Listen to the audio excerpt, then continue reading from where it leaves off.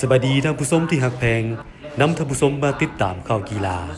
มาเริ่มที่การแข่งขันกีฬาเทควันโดสิงขันเจ้าของนครหลวงเวียงจันทร์ครั้งที่ 6 เกมเปิดสากวันที่ 15 หาวันที่ 16 มิถุนายนนี้ สิงไซ153เดือนคำวันที่ 6 มิถุนายนผ่านมาที่สโมสรคณะกรรมการโอลิมปิกแห่งชาติลาวสาพันธ์กีฬาเทควันโดแห่งชาติได้แถลงข่าวเกมจัดการแข่งขันรายการดังกล่าว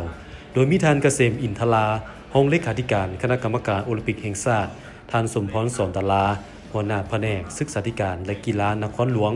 ท่านประสาทไซพิลาพันเดชประธานสาพันธ์เทควันโดแห่งชาติพร้อมด้วยคณะผู้ให้การสนับสนุนครูฝึกและนักกีฬาต่างหน้าจากเศร้าสองสโมสรเข้าร่วม ท่านจันทวงศ์ปัญญาสิริเลขาธิการสาพันธ์กีฬาเทควันโดแห่งชาติรายงานในหู้ว่า การแข่งขันเทควันโดซิงขันเจ้าของนครหลวงครั้งที่6 เป็นการร่วมมือกันระหว่างสาพันธ์เทควันโดแห่งชาติลาวร่วมกับบริษัทโอโต้ลาว บริษัทเบลาวจำกัด และบริษัทอื่น ๆ จัดการแข่งขันครั้งนี้ขึ้นมา โดยจะแข่งขันวันที่ 15 หาวันที่ 16 มิถุนายน 2024 นี้ ที่ศูนย์บูโดเซ็นเตอร์ลาวญี่ปุ่นนครหลวงเวียงจันทร์ภายในงานยังจะมีกิจกรรมสร้างสีสันให้งาน รวมทั้งงานตลาดนัด เป็นเทศกาลพบปะซื้อขายสินค้า ซึ่งในปัจจุบันมีสโมสรภายในนครหลวงวียงจันทร์และเจ็ดแขวงรวมทั้งหมด22สโมสรแจ้งเจตนงเข้าร่วม ในนี้จากนครหลวงวียงจันทร์15สโมสร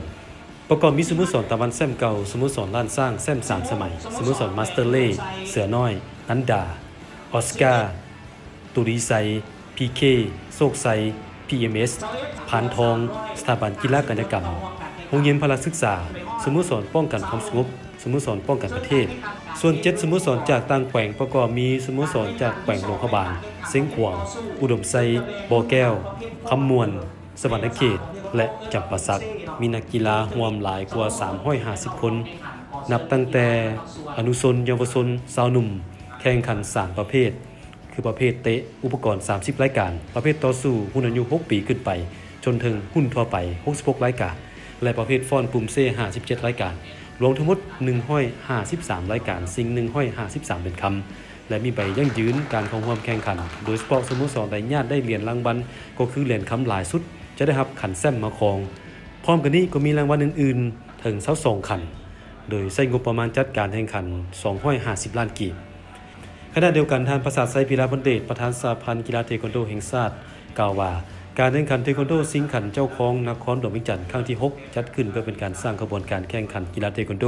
ให้มีเวทีแข่งขันต่อเนื่อง และยังเป็นการจัดตามแผนยุทธศาสตร์ของสาพันธ์เทควันโดแห่งชาติก็คือการพัฒนาวงการเทควันโดในหลายด้าน เป็นต้นด้านบุคลากรกรรมการตัดสิน คณะกรรมการจัดการแข่งขันครูฝึกและนักกีฬาให้มีประสบการณ์ระดับประเทศ เพื่อต่อยอดสู่ระดับภาคพื้นและสากล นอกนั้นรายการนี้ยังเน้นใส่พัฒนาและปรับปรุงการสร้างนักกีฬาเทควันโดเยาวชนหุ่นสืบทอด ในระดับสโมสรภายในประเทศ ให้มีความเข้มแข็ง สามารถสร้างนักกีฬาดีเด่น เพื่อทดแทนนักกีฬาทีมชาติอย่างเป็นระบบ รวมทั้งการเกี่ยมคัดเลือกนักกีฬาเข้าร่วมแข่งขันเอเชียนอินดอร์เกมส์ที่นครหลวงบางกอกและแขวงสมบุรีประเทศไทย ระหว่างวันที่ 11หาวันที่ 30พฤศจิกายน2024นี้